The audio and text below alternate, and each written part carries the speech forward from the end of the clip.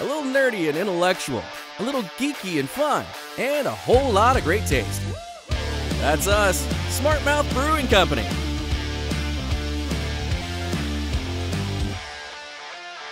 It all started with Norfolk native Porter Hardy and his biggest dilemma should I stay at my lucrative job or quit and follow my dream to make beer?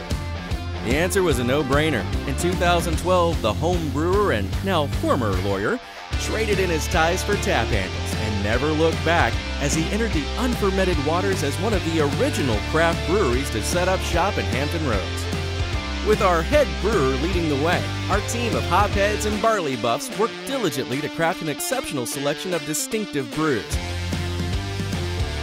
Smartmouth produces five beers year round, three seasonal styles, and a broad assortment of limited edition brews.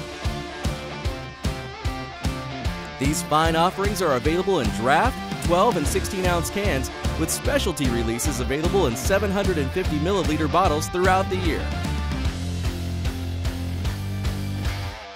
Smartmouth's primary brewing facility and original tasting room is located in the historic Kent section of Norfolk. This is where our year round favorites are brewed, as well as seasonal beers are crafted. To quench the thirst of our neighbors in Virginia Beach, Smartmouth opened the Pilot House on 32nd Street.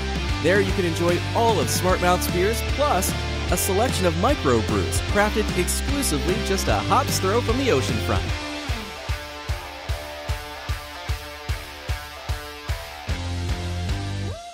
At Smartmouth, we love the community that so faithfully supports us. That's why you'll find us at special events and supporting nonprofit organizations all across Virginia.